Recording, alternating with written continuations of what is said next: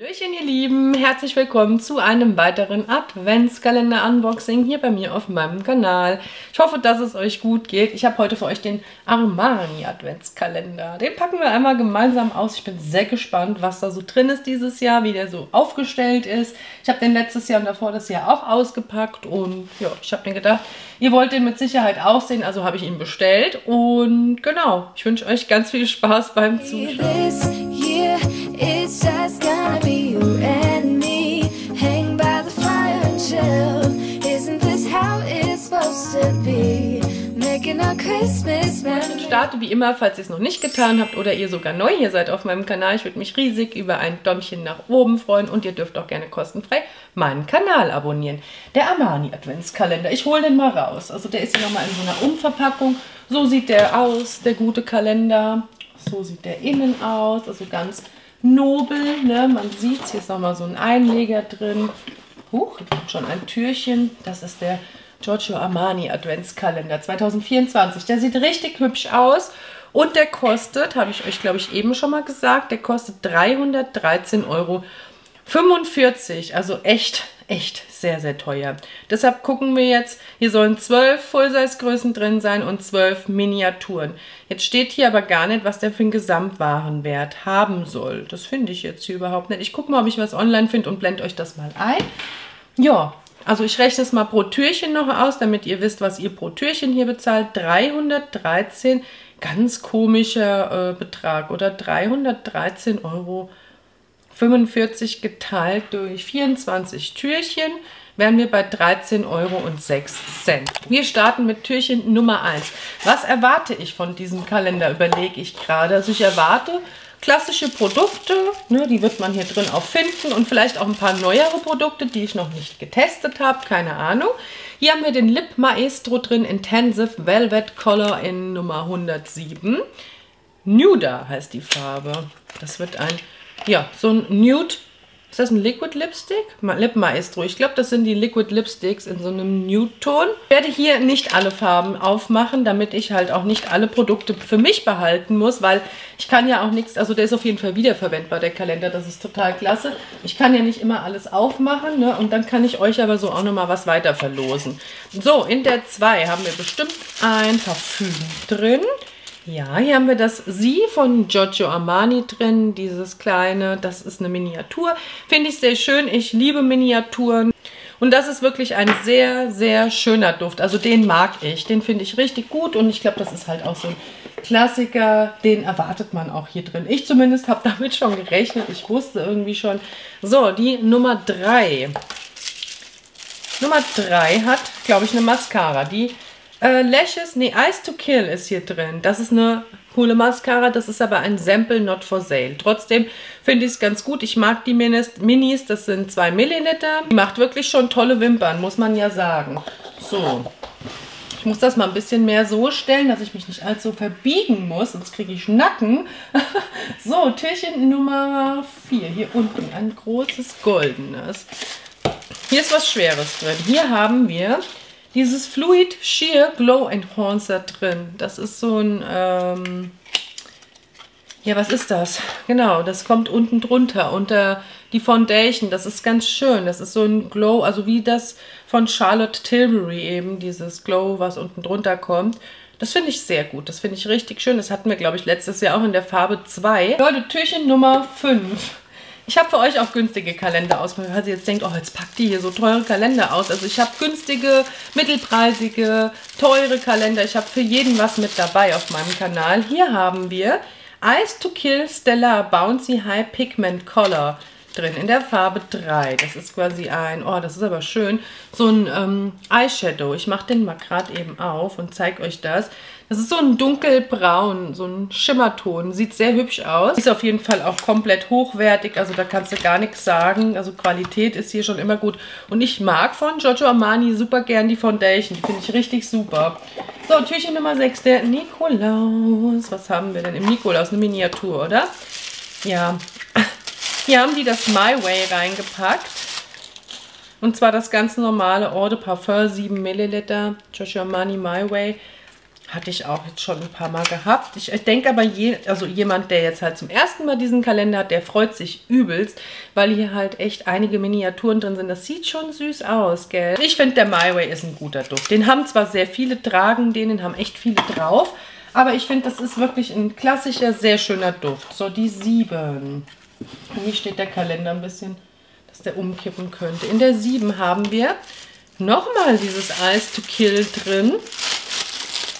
Krass, die haben nochmal in der Farbe 5 so ein Eyeshadow reingepackt. Das finde ich aber jetzt gar nicht mal so schlecht. Und zwar in so einem Roséton.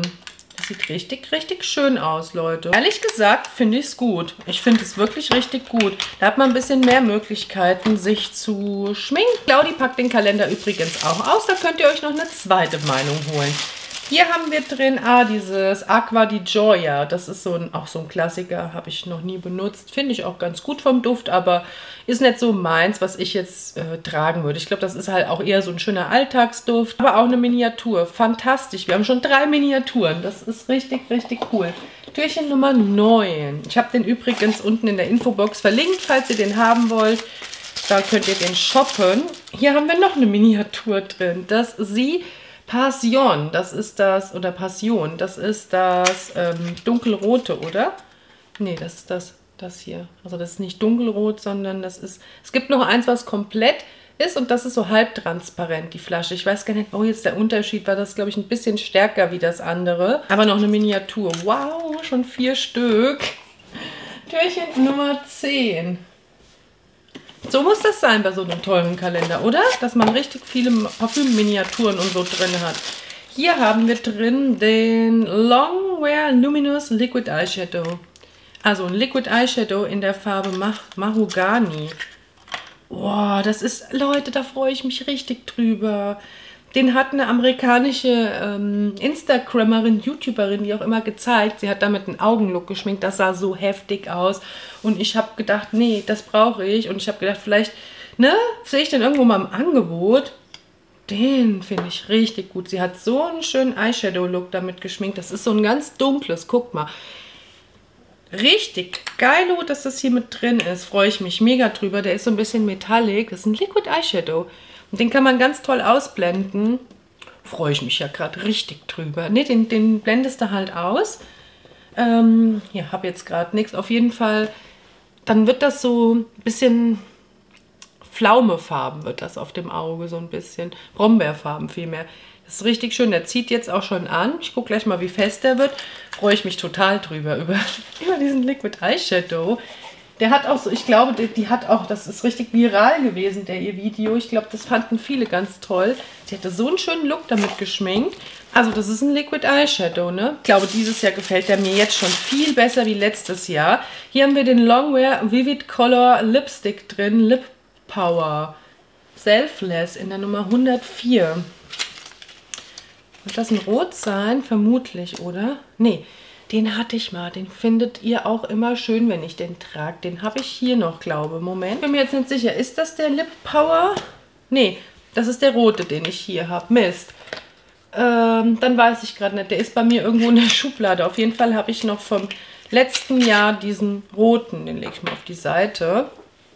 Das ist ein Nudefarbener. Den kann man aber mal schön verschenken oder so. Da freut sich bestimmt jemand drüber. Waren das jetzt die 11?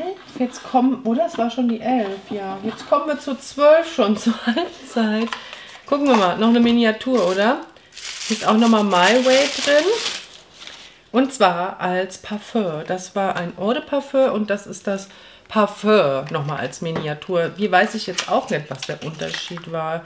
Ach, das Blaue, das kenne ich noch gar nicht. Das habe ich auch noch nicht. Ich will mal, da schnupper ich mal dran. Da muss ich mal gerade, also das weiß ich jetzt gar nicht. Das wird wahrscheinlich intensiv sein. Oh, das riecht aber wirklich gut, gell? Ich mag das My Way.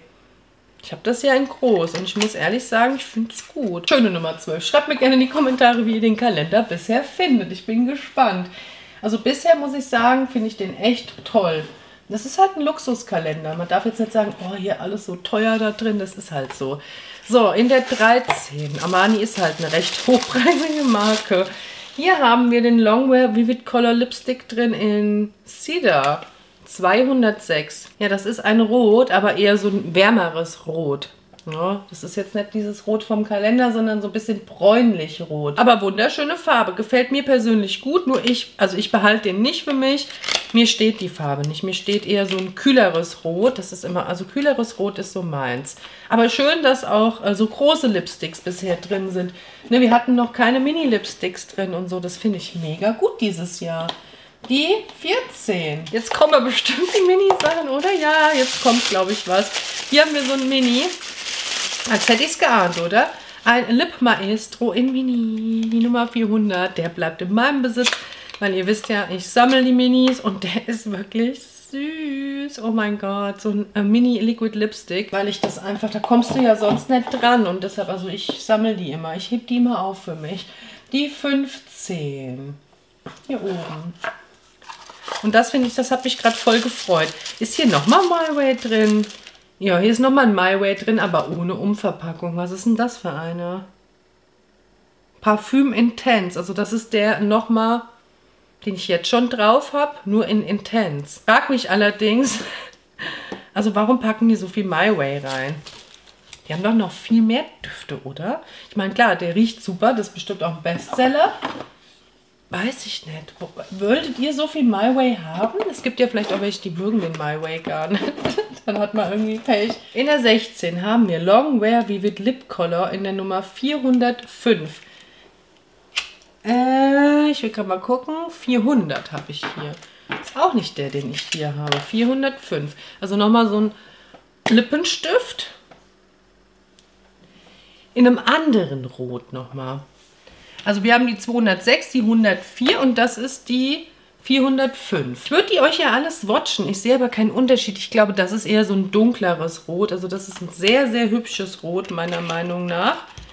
Ähm, aber ich swatche es mal jetzt nicht, weil ich nicht weiß, ob es bei mir bleibt. Aber trotzdem nochmal ein Full-Size Lippenstift. Das ist auch gut. Jetzt haben wir aber genug, oder? Jetzt brauchen wir mal hier noch was anderes in der 17. Was haben wir hier?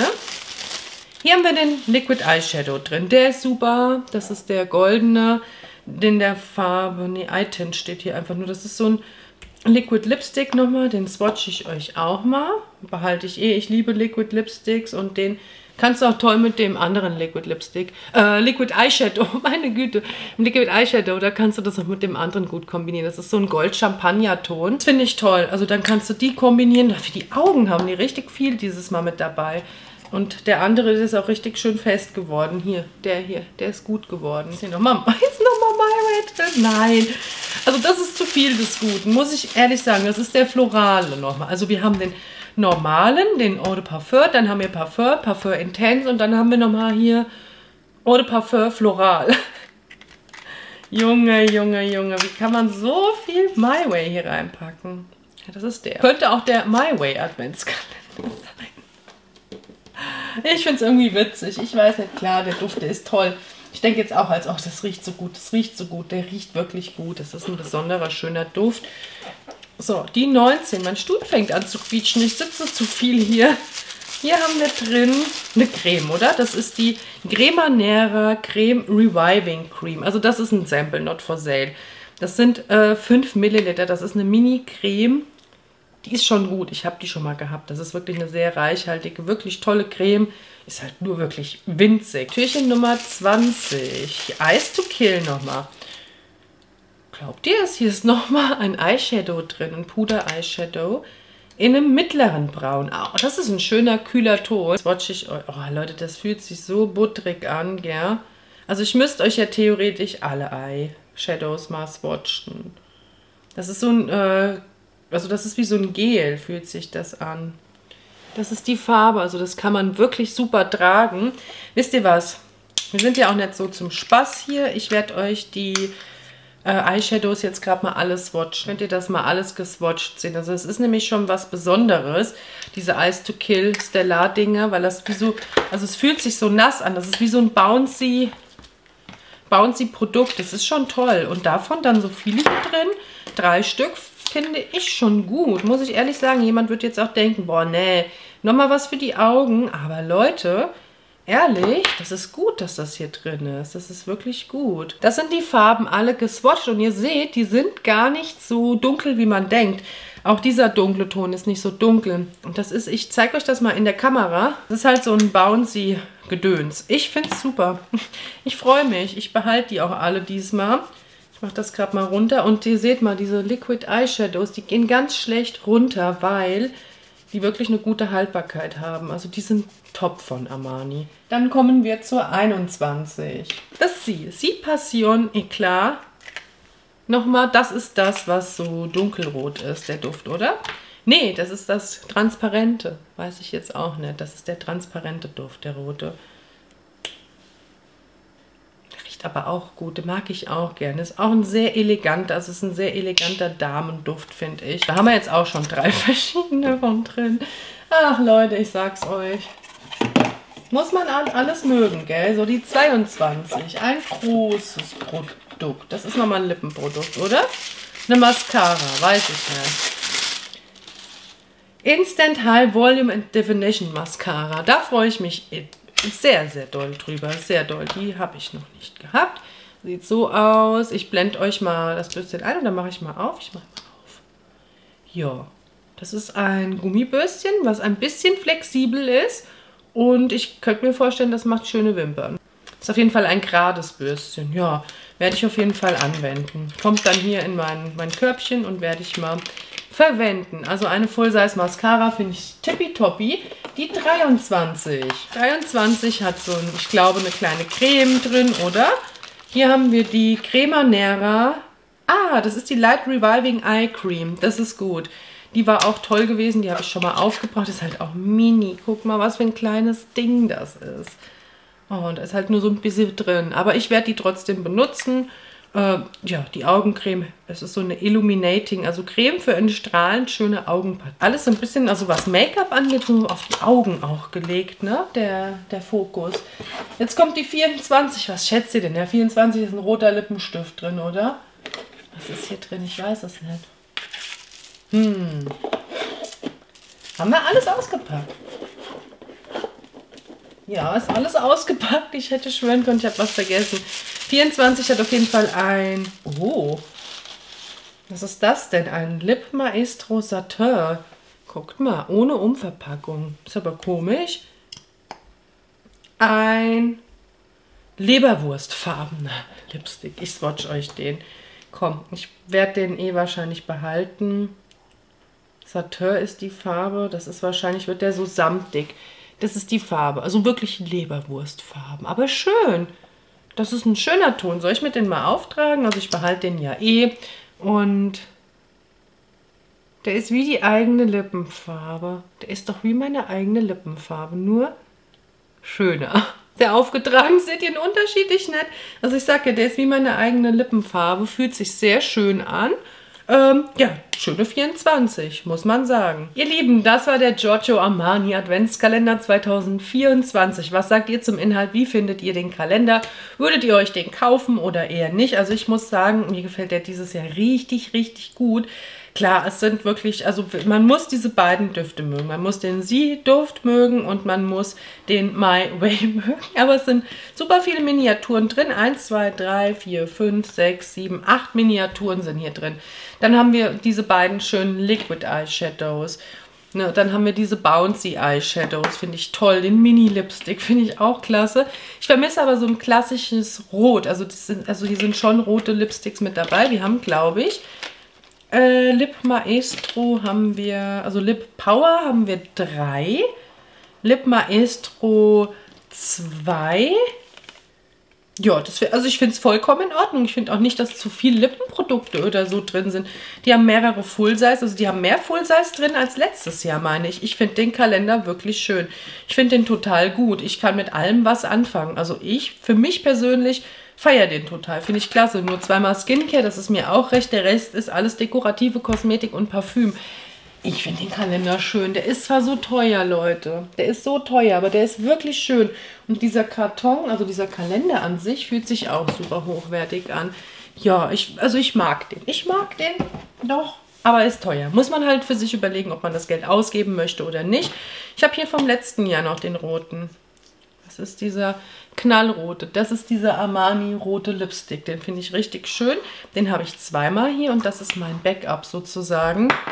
Und äh, also ich muss, und das hier, ich will euch gerade mal sagen, das ist wirklich hier so samtig geworden. Also das ist dieser Lipstick hier. Seht ihr, der ist noch ein bisschen, also der hat ein bisschen Glanz, ist aber, fühlt sich richtig gut an.